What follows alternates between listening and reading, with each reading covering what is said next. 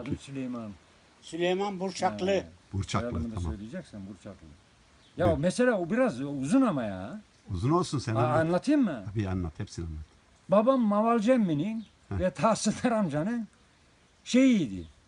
İkinci adamı yani. Çok iyi. Onların hizmetlerini görür. Efendim cevizlerini çırpar, aralamalarını eder, duvarlarını yapar. Bunun yanında da para olmadığından ödünç para alırdı onlardan yani. Ama Hasan gel dediler miydi onların işine giderdi. Evet. E biz de onların hizmetçisiyiz. Babam derdi yani işte gidin bugün Şevket Teyze'nin tahsildarın yükünü taşıyacaksınız. Sonbahar, güz günü Ermeniye göç var. Babam dedi kısra şeyi çekiyorsun, eşeğe çekiyorsun. Tahsildar emminin yüklerini, göçünü Ermeniye taşıyacaksın. Gittik. Yükü Şevket Teyze'yle İsmail amca var mıydı ya? O yoktu herhalde, o görevdeydi. Yüklettik. Sonbahar, hava soğuk. Kasım ayı. Beygire, ondan sonra şeye, eşeğe, ala ne aldıysa. Yukarı yol ayrımına vardık. Kekliklerin üstüne. Ke- şey, Eriklerin. eriklerin üzerine vardık. Orada yol üçe ayrılıyor. Biri sizden tarafa gider. Biri mahalleden buraya gelir. Biri Ermeni'ye gider. Bizim Ermeni'ye gitmemiz lazım. Ora rampa. Dik. Hayvan biliyor bu şeyi.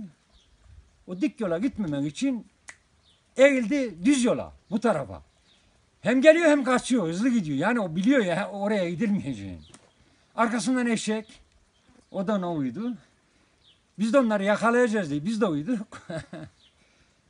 20 metre mi gittim, 30 metre mi gittim bunlar arayı açtılar. Benden hızlı gidiyorlar. Ben küçüğüm 10 yaşında ilkokul 3 veya 4'teyim ya. Öyle bir düştüm ama nasıl böyle kava ağacını yıkarsın da şark diye atar ya kendini. Öyle düştüm. Kolum altımda kaldı. Taşın içinde. Uyuş oldu de. Ya uyuşma değil. İnsan Şevket Ecen'in yanında falan bağırarak ağlar mı? İzrap eder değil mi? Tabii. Benden bir ses, bir tufan. Anam gittim, geldim.